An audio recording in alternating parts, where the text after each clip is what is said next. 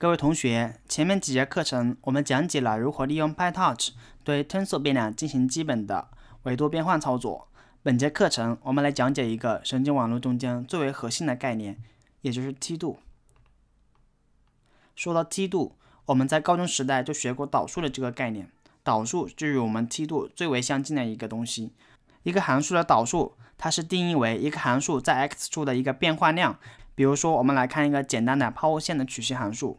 Y 等于 x 的平方，它反映的是函数在 x 这一点处的一个变化率，也就是这一条线的斜率。比如说，它在 x 等于零处的导数 y 导等于 2x，在 x 等于零处，它的导数为零。随着 x 的增加，变大到一定程度以后，它会慢慢的接近于无穷大，因为它的导数当 x 趋近于无穷大的时候，它的导数也偏向于无穷大。它反映的是 y 的值随着 x 的变化的一个变化的趋势。需要注意的是，我们高中时代所说的导数，因为针对的是一维函数，所以它讲的是 x 在向左和向右运动的一个趋势。实际上，导数是一个非常宽泛的概念。比如说，我们来看一个二维函数，二维函数的导数同样是可以定义的，但是它的方向，比如说 x 朝这个方向的一个变化率，x 朝这个方向的一个变化率，x 朝另外一个方向变化率。因此，导数它本身是一个标量，它反映的是一个变换的程度。它反映的是你给了一个方向，我比如说我要求这一个方向，我在这个方向上的一个变化率，因此我用这个方向上面的一个长度来表示这个变化率。然后我如果要求给这个方向的导数的话，那我就使用这个方向上的一个长度来代表这个函数在 x 处朝着这个方向的一个变化率。因此它是一个标量，它这个标量的长度反映了变化率的大小。在大学里面，我们接触到了更高维度的函数，因此产生了偏微分这个概念。偏微分讲的是一个函数对它的自变量的一个变化率的描述程度，它也是一个标量，但不同的是，它跟导数不一样。导数是一个非常通泛的概念，导数的方向是可以随便能指定的，你可以随便指定一个，你可以指定 x，你也可以指定 y 方向，你还可以指定一个综合的方向 x y 的方向。但是偏微分它讲的是给定的自变量的方向，因此它是对 x。对 y 这样的一个导数，我们来看一下一个简单的、非常简单的 y 的平方减去 x 平方。对 x 求导的话，那也就是把 x 看成自变量，y 看成常数，因此它是负 2x。对 y 求导的话，把 x 平方看成常量，那也就是 y 平方求导，那也是 2y。因此，偏微分和导数一样，偏微分是导数的一种特殊情况，它是指定的方向，方向就是这个函数的自变量的方向。这个函数有多少个自变量，它就有多少个偏微分。偏微分的符号使用这个符号来表示。对于导数的话，我们可以使用 d 符号来表示。现在我们来讲解一下梯度的概念。梯度的概念也非常简单，它就定义为所有的偏微分的一个这样的向量。我们来看一下 y 的平方减去 x 平方，它一共有两个偏微分。第一个对 x 的偏微分是负 2x。对 y 的偏微分是 2y，因此这个函数的梯度直接可以用一个式子来表达，也就是说，它是一个 x y 这样的向量。比如说对零株，它的偏微分是零，这里 y 的偏微分也是零，因此这个在 x 等于在零和零处的一个梯度就是零。我们来看另外一个梯度 y 一和一出来梯度是 x 等于一，那就是负二。y 也等于一，那也是二，因此函数的梯度也是一个非常简单的概念，它就是把所有的偏微分看成一个向量来理解。所以梯度它是一个向量，它不是一个标量，这一点是有本质的区别的。我们讲偏微分就是一种特殊的导数，它的方向是给定了的，也就是函数沿着 x 轴、沿着 y 轴的一个变化的趋势，它也是一个标量，只不过它有多个标量。而对于导数来说，它是一个非常通用的概念，它反映的是在给定一个方向下面的一个变化量，因此它也是一个标量。它只有大小，没有方向性。但是对于梯度不一样，梯度是一个向量，它的向量的每一个轴的每一个轴是每一个方向下面的偏微分。我们来看一下，f 对 x 一，f 对 x 二，f 对 x n。我们知道导数它反映的是一个函数的变化量，那么梯度这个东西它反映的是什么呢？因为梯度与导数有不同的区别。首先，梯度它是有方向的，然后梯度它还有大小。我们来看一下对于一个这样的二维的函数，这里的 x 和 y 代表的是它的两个自变量，z 轴也就是它的函数的输出轴，它反映的是这个函数的大小。然后下面的箭头反映的是这个函数在 x y 平面的一个梯度，每一个箭头都有一个方向以及它的箭头的长度。比如说这里代表的是这个梯度的大小，梯度的模，然后这个箭头的方向代表了梯度的所指的方向。我们大概的直观的感受一下，就比如说这个平面稍微的缓和一点，然后这个平面稍微的陡一点，因此这个梯度大家可以看到这个梯度的长度会大一些。然后这一边这个梯度的长度会短一些，就说明了第一个这个梯度的长度某种程度上面反映了这个函数的一个变化的趋势，对不对？第二个，我们来看一下这个梯度的方向，这个梯度的方向它代表的是什么？从最中间最小的那一个点往外开始扩展，开始扩展，也就是它朝着一个它的函数的值越来越大的方向来走。因此，这个梯度的方向它代表的是什么呢？它代表的函数是一个大值。或者说增长的一个方向，我们来看一下右边的这幅图，蓝色的值代表比较小的值，然后红色的柱代表大的值。我们可以看一下中间的箭头比较长，而且它的方向是有一个极小值指向一个极大值，因此可以说明中间的这部分的梯度，它反映的是这个函数的增长的方向，而且说明了从这个方向增长，它的增长的速度是最快的。然后我们看一下边缘，它也代表了一个增长趋势。只是说这个趋势它可能是向这边增长，向上这边增长的话，它会间接返回到这一端进来。但是这一端的增长趋势是非常非常慢的，大家可以看一下这部分的箭头的长度是非常非常小的。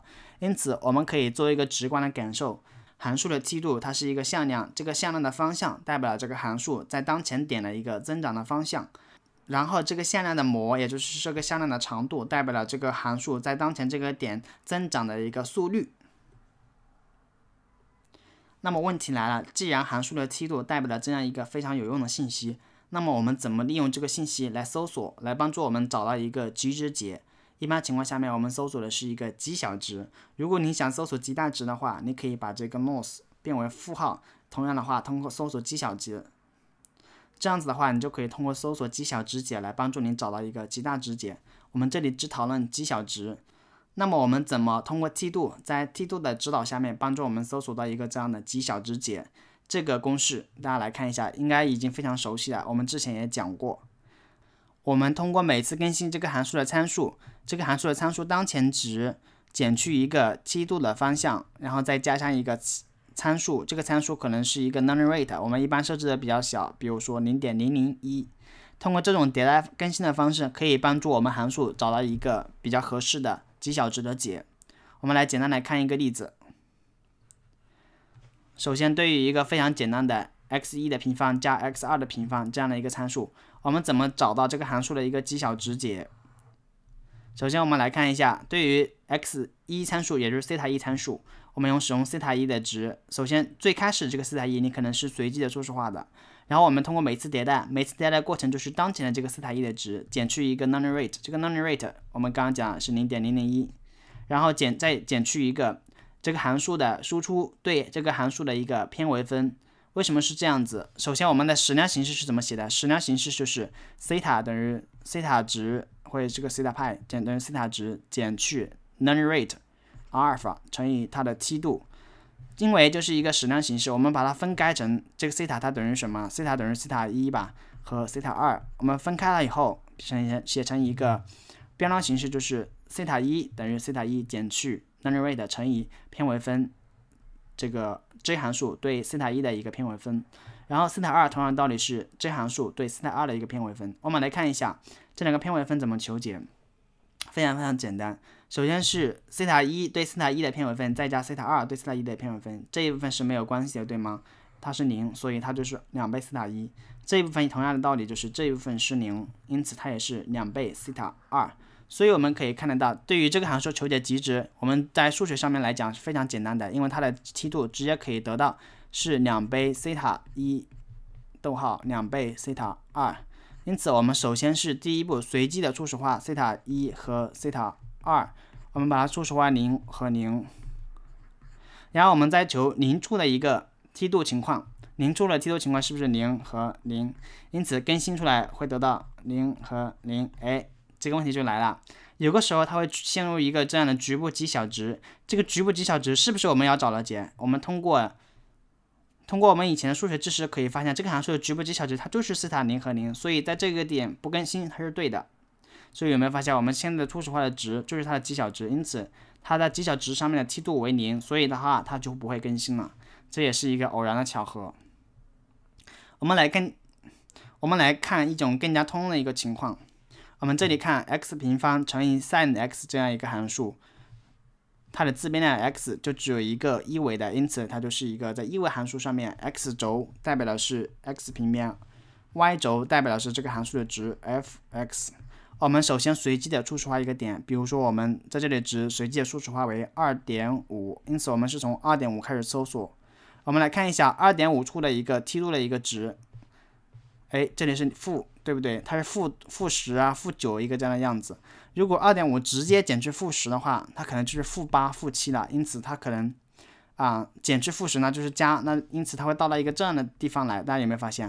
它一下子会跳到这里来，这就是我们后面会讲的 non-rate 太大的情况。这里 non-rate 其实是什么？因为我们没有乘一个数，它其实就是一。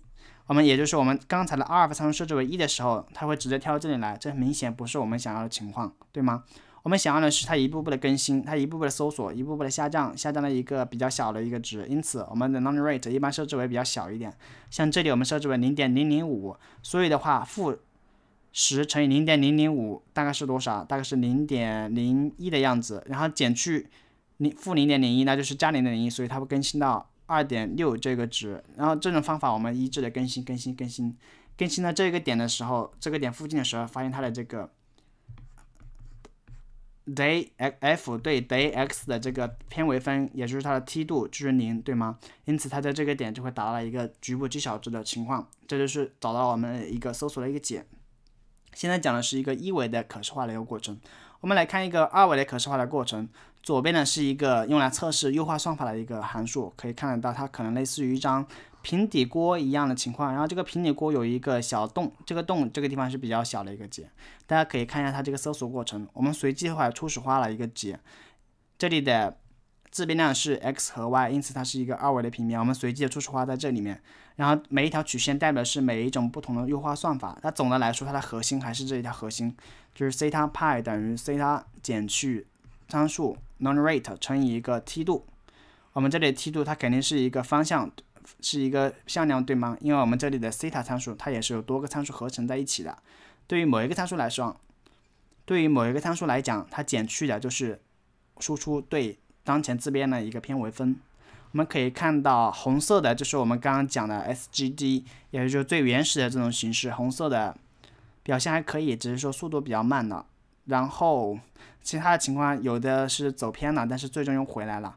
因此，对于这种情况的话，这点是一个局部极小值，这里是一个全局极小值。然后我们看右边的这个，有点类似于像马鞍的一个这样图形。然后红色的是一个最原始版本的，我们使用的是这个梯度的方法来搜索，可以看得到它卡在这个点上面了。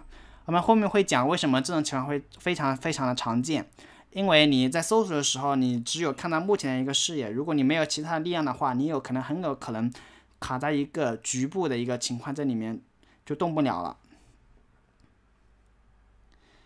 现在我们来非常。